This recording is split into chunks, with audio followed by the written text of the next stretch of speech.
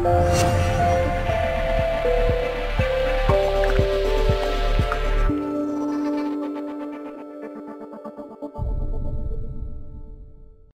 Gary Simon of DesignCourse.com. Recently, I finished the Design Course Premium promo video, so go ahead and check this out. It's only about 30 seconds.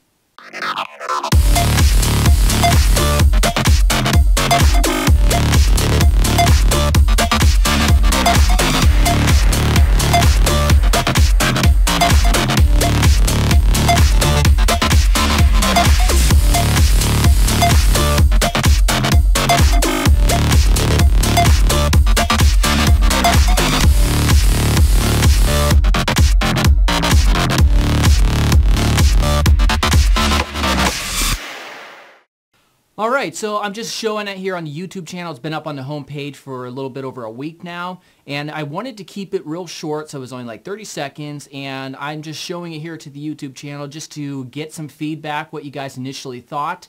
I used Blender along with After Effects to create that whole thing, with exception to the music. I purchased that from audiojungle.net. It's a great site for stock audio. But yeah, just let me know what your initial impressions are. Uh, Design Course Premium is going to be launching real soon within the next two to three weeks, I hope. Uh, so yeah, let me know what you think. Uh, check out Design Course again. Subscribe here on YouTube if you haven't yet. And also let me know if you would ever like to see kind of a video tutorial on how to create something like that. I may actually uh, do several of those and create a Design Course Premium product out of it. Anyhow, let me know what you think. All right, see you tomorrow.